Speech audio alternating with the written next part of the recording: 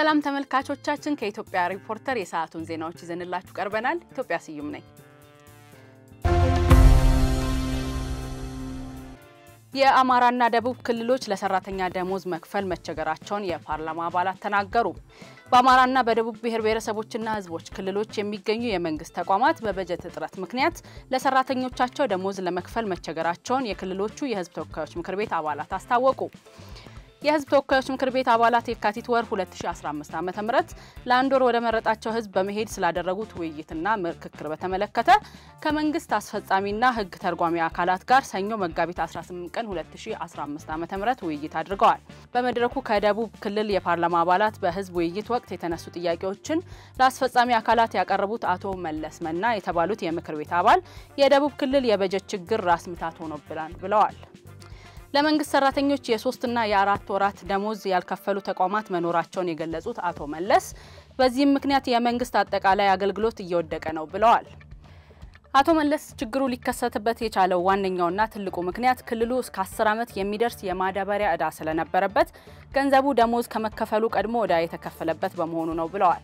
በተመሳሳይ በአማራ ክልል የፓርላማ አባላትን ወክለው በውይይቱ ወቅት ጥያቄ ያቀረቡት ወይዘሮ ታለፍ ይታወቅ የተባሉ የምክር ቤት አባል በአማራ ክልል የገጠመው የበጀት እጥረት ደሞዝ መክፈል አለመቻል ብቻ ሳይሆን ተቋማዊ ቁመና ይዘው ለመቀጠል የማይችሉበት ደረጃ ላይ ደርሷል ብለዋል።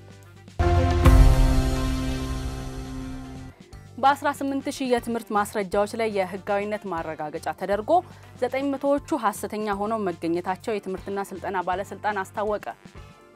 የትምህርት ማስረጃዎቹ ተመሳስለው የተሰሩ እውቅና ከሌለው ተቋም የተሰጡ ባልተፈቀደ የሙያ መስክ የሰለጠኑ የመቁረጫ ነጥብና የብቃት ማረጋገጫ ሳይኖራቸው የሰለጠኑ መሆናቸው ተገልጿል።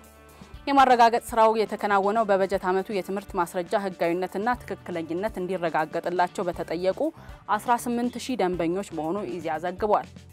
ባለስልጣኑ በተቀናጀ ከፍተኛ ትምህርት ፈቃድ አሰጣጥ የፈቃድ እድሳት ክትትልና ቁጥጥር ላይ በትብብር ለመስራት ከባለድርሻ አካላት ጋር ተወያይቷል። የባለስልጣኑ ዋና ዳይሬክተር አምባሳደር ሽፈራው ሽጉጤ ሀሰተኛ የትምህርት ማስረጃ ጉዳይ እየተባባሰ መሆኑን ጠቁመው የትምህርትና ስልጠና ጥራት አግባብነትና ትክክለኛነትን ለማረጋገጥ የጋራ ጥረት ይጠይቃል ብለዋል።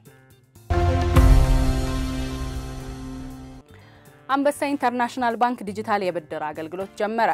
ባንኩ ለዲጂታል ብድር የሚውል 500 ሚሊዮን ብር ተዘዋዋሪ ፈንድ መመደቡ ተገልጿል። አንበሳ ባንክ አለኝታ የተሰኘ የዲጂታል የብድር አገልግሎት ነው ስራ ላይ ያዋለው።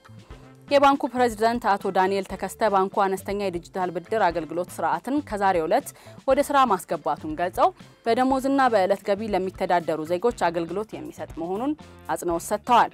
ፕሬዚዳንቱ አክለውም የዲጂታል ብድር አገልግሎቱ ያለምንም የንብረት ማስያዣ ዋስትና ሳያስፈልግ በባንኩ ሂሳብ ያለው ደንበኛ በአካል መቅረብ ሳያስፈልገው በእጅ ስልክ ብቻ አገልግሎቱን ማግኘት ይችላል ነው ያሉት። የብድር አገልግሎቱ አለኝታ የደሞዝ ብድር፣ አለኝታ ለራይድና ለታክሲ ሹፌሮች፣ አለኝታ ለጥቃቅንና መካከለኛ ኢንተርፕራይዞች፣ አለኝታ ለኤሌክትሮኒክስና የቤት ዕቃ መግዣ እንዲሁም አለኝታ የፋይናንስ ድጋፍ ለሚያስፈልጋቸው በሚል አምስት ዘርፍ የቀረበ ነው። በአሁኑ ሰዓት ወደ ስራ የገባው አለኝታ የደሞዝ ብድር አገልግሎት ሲሆን ከደሞዝ እስከ ደሞዝ በመሀል የሚኖረን የገንዘብ ችግር ለመቅረፍ ደንበኞች ብድር ወስደው ክፍያ የሚፈጽሙበት ነው። የብድር አገልግሎቱ ለመንግስትና ለግል ድርጅት ሰራተኞች እንዲሁም ለሌሎች የህብረተሰብ ክፍሎች ተደራሽ የሚሆን ሁሉንም አካታች የብድር አገልግሎት መሆኑም ተገልጿል። ቀሪዎቹ አራት የብድር አገልግሎቶች ደግሞ በቀጣይ ወደ ስራ የሚገቡ ይሆናል የተባለ ሲሆን በተጨማሪም የሌሎች ባንክ ደንበኞች ተጠቃሚ ለማድረግ ስራውን እንደሚጀምሩ ነው የተገለጸው። በዓለም የነዳጅ ዋጋ መጨመሩ ተሰማ። ለዋጋ መጨመሩ ዋና መንስኤ የነዳጅ ላኪ አባል ሀገራት ኦፔክ ለዓለም ገበያ የሚያቀርቡትን የነዳጅ መጠን ለመቀነስ ውሳኔ ላይ መድረሳቸውን ተከትሎ መሆኑን ተገልጿል። በስምምነቱ መሰረትም አባል ሀገራቱ የዕለታዊ የነዳጅ ምርታቸውን ከ1.16 ሚሊዮን በርሜል ለመቀነስ መስማማታቸውን ተከትሎ እንደሆነ መረጃው ያሳያል። ነዳጅ ላኪ አባል ሀገራቱ ከሚቀጥለው ግንቦት ወር ጀምሮ ተግባራዊ እንደሚያደርጉ ጠቅሰው በዓለም የነዳጅ ገበያው መጠን በአንድ በመቶ ይቀንሳል ተብሏል። በዚህ ውሳኔ መሰረትም የዓለም የነዳጅ ዋጋ በመጪው ጊዜ በበርሜል የ10 ዶላር ጭማሪ እንደሚያሳይ ተመላክቷል። ለሰዓቱ ያሉን ዜናዎች እነዚሁ ነበሩ። መልካም ጊዜ